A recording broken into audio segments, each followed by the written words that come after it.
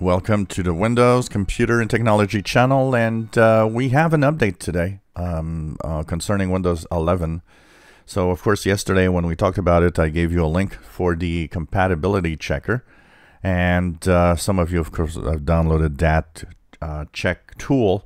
It turned out that sometimes it would actually maybe not give you the right information on some cases. And also, they made some improvements as the new one is actually capable of telling you a little more details of why it doesn't work. Uh, before, it's like, you know, it just, uh, you're not compatible. Now it's, uh, here's the reason why you're not compatible. So I'll share the link to this Windows 11 page. What you do is you go down completely down the page. And here, down the page, you will see uh, in the uh, in the pages, uh, check for compatibility. It's that little turquoise or kind of light blue uh, screen.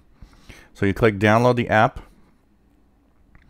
and then you of course install this new app which is different in reporting if your computer is alright. So if you checked it yesterday with the old tool, this is the new tool.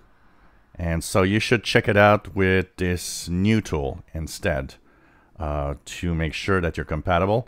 And like I said, if you're not, it's actually going to give you more details as to why you are not or you are uh, running Windows 11. So check it out with the new tool. Um, maybe some of you that had a false negative yesterday will have a good positive today. So uh, this is the new tool. The link is in the description below the video.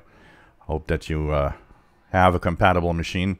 And uh, like I said, uh, if it says that it's not compatible because of TPM, make sure that in your BIOS, everything's activated in terms of security because a lot of CPUs have what's required, but it's not turned on by default. So that might be a, a simple change for some of you. Um, there's still a lot of people that won't be compatible, but still, um, I think some people that think they're not compatible are actually compatible but they just need to enable uh, the security. If you enjoy my videos, please subscribe, give us thumbs up. Thank you for watching.